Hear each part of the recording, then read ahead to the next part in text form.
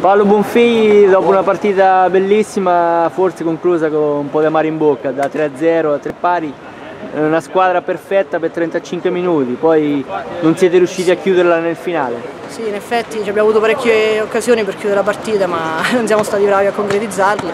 Rammarico ce n'è tanto perché sul 3-0 non puoi permetterti di, di regalare così tanto pazienza, ci prendiamo questo punto e andiamo avanti così. Beh, una grande dimostrazione di forza, però se mi permetti eh, il calo era purtroppo inevitabile, penso negli ultimi minuti, se no... Abbiamo fatto un ritmo molto, eh, molto no... forte, abbiamo pagato un po' abbiamo fatto rientrare la partita sul 3-1, dopo loro ci hanno creduto giustamente, sono bravi. E...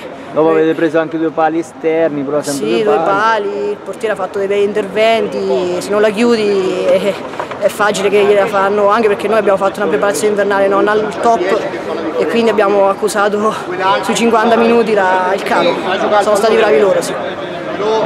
Quest'anno, dopo la grande annata dell'anno scorso, oramai non siete più una sorpresa, si punta comunque al bersaglio grosso? Eh, I playoff eh, era l'obiettivo minimo per quest'anno.